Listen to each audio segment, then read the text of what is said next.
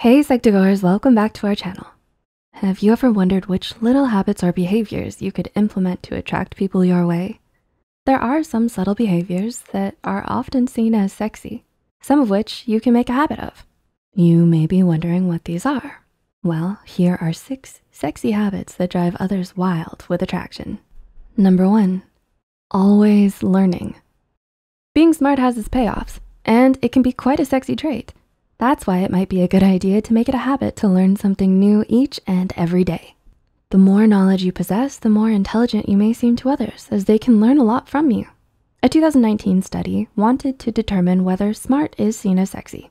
Researchers asked around 600 adults to rate a list of hypothetical people based on how desirable they were. They found that for everyone in the study, for all kinds of relationships, there was a significant desire to have a partner who was either as smart as them or smarter. The researchers state that the sexes found less intelligent partners less desirable. A more intelligent partner was no more desirable than a partner who was equal in intelligence, but intelligence was particularly valued as a long-term mate. Time to get studying.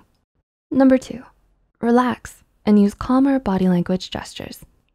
Are you a relaxed speaker? Do you use your hands dramatically when you talk to make a point? In a 2011 experiment by researchers Bob Fennis and Marielle Stel, they discovered that using non-threatening cues allows for someone's date to feel more comfortable when they're with them. Makes sense, right? They found that using calmer, smaller body language gestures and speaking slowly all added in making your newly acquainted date feel more comfortable. Leaning back was also found to be beneficial. Sometimes we can forget that your date might be a bit uncomfortable sitting across from someone they just met. So calmer gestures while still showing your personality is a great way to go. Number three, be mindful during discussions. If you're nervous during a date or around your crush, your thoughts can often wander, making mindful discussions sometimes difficult during the first few minutes of an exciting date. But it's best to practice mindfulness and remind yourself to be present at the moment. In an experiment published in 2015, researchers found that men who were actively involved in a conversation as compared to being distant were seen to be more attractive among heterosexual women. The authors write that more research is needed, but who doesn't find a partner that actively listens more attractive? Number four, they don't check their phone 24 seven. How often do you check your phones? Have you ever frequently checked your phone while out on a date? According to research by global tech care company Asurion, Americans check their phones 96 times a day, which comes out to be once every 10 minutes. So when someone appears so interested in what you have to say that they don't check their phone the whole conversation, that's quite often seen as sexy, if not simply attractive. People want someone who is emotionally present. If someone's attention is off somewhere else while you're discussing an emotional topic, that can easily be seen as a turnoff. So make it a habit to keep the phone in your bag and ring her off to vibrate. Number five, don't try to be perfect. Do you try to be perfect on a first date? Well, a bit of imperfection in your capable personality may just make someone wild for you.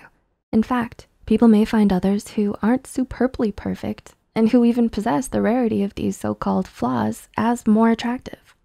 In a research study, researcher Elliot Aronson had people rate fake test takers based on their attractiveness test takers would either do great on a test, mediocre, or poor.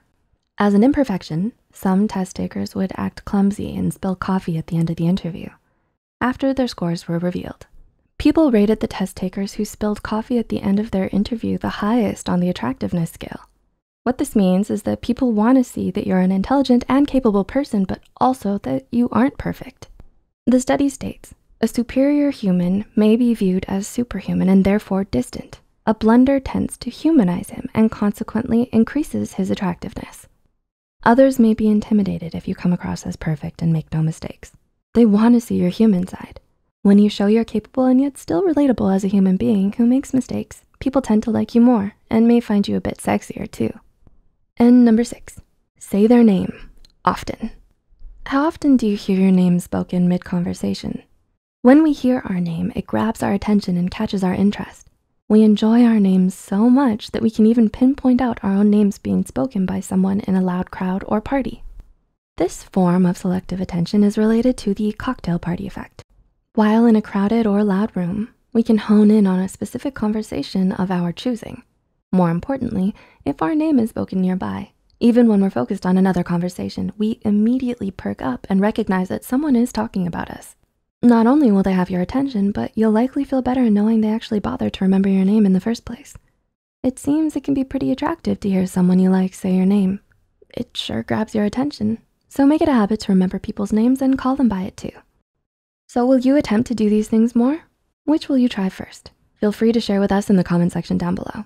If you liked this video, don't forget to click the like button and share it with a friend. Subscribe to Psych2Go and hit the notification bell icon for more content like this. As always, thanks for watching.